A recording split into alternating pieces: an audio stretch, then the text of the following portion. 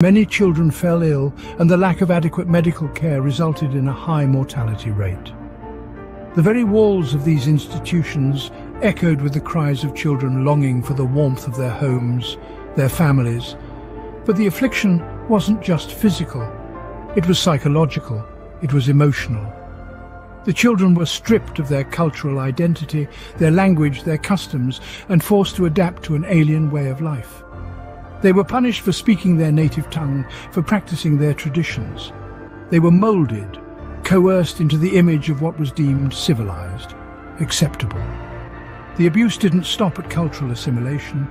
Many children were subjected to physical and mental abuse. They were treated not as children, but as subjects, as objects of an experiment of forced assimilation.